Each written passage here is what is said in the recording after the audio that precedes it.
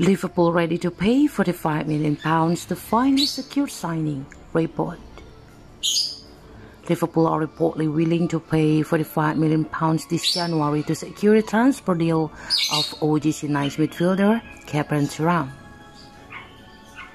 The midfield reform during the summer transfer window has worked wonders for the Reds. The club find themselves in the first place in the PL points table. Moreover, the Merseysiders have also been brilliant with their performance in UEL. They have already qualified for the next round of the competition as a top-tier group.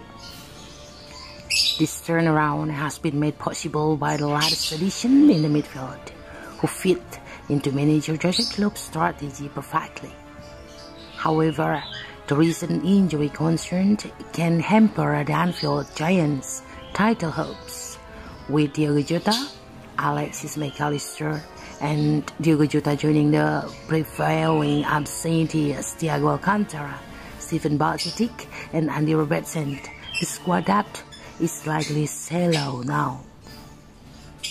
But on a positive note, the club officials have already started working behind the curtain to facilitate new signing this January.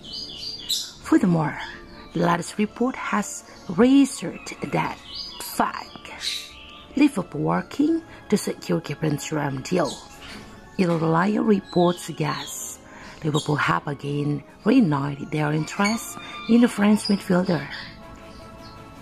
The latest report from Calciomercato Web has confirmed that the English Giants are ready to pay the transfer fee of 45 million pounds to secure the deal.